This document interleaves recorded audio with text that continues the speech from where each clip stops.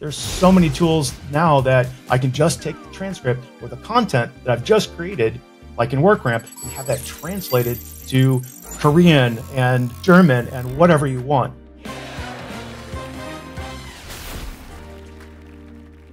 Let's dive in next to the kinds of AI tools that you can use for customer education. You're probably going to ask next, hey Dave, show me what specific tools are you talking about? Well, let's begin with WorkRamp.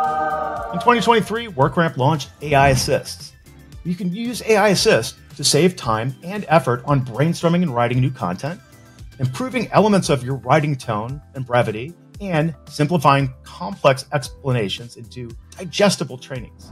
Wow, this is the kind of super helpful AI based tool that really helps our team members work in the moment and in the app. So let's talk about some examples. First, I'll cover transcription. Now, there are many tools out there that do this, but I'll just pick one that I use almost daily. Part of my workflow involves taking some time to transcribe literally all the conversations I have with subject matter experts. I even do sometimes walkabouts where I will record myself alone talking, brainstorming on an educational topic. Zoom, other platforms, take your pick. There are many of them out there. Now, the cool thing about this is once I have a transcript, I can take those back into something like ChatGPT and have it go summarize, contextualize, and give me something that I want. Flowing on from that is accessibility and translation, right?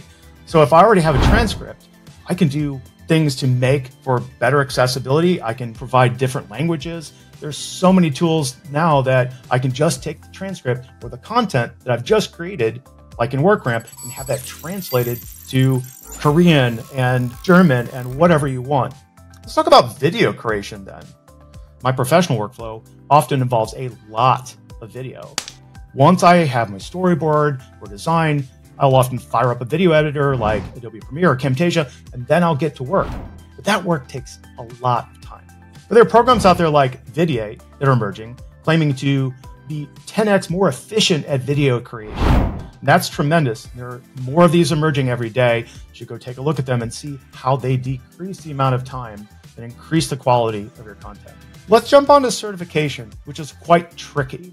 Proving that our customers, or even us, know a subject is something that traditionally we've had to craft very complex tools for question banks. Now, often this is one on one where we'll interview somebody and take something away from that. Do they really know what they're talking about? These days, we're now seeing that we can use AI technologies to understand what those people are doing and provide us an output of that without actually having to watch the video.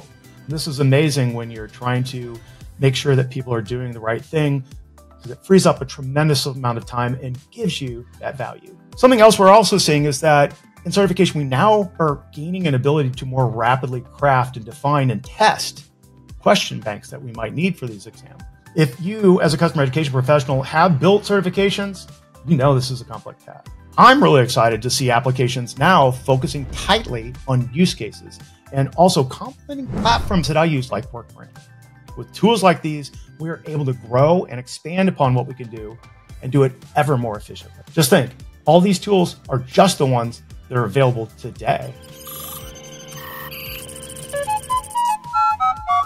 Now let's talk about ROI of AI in the future.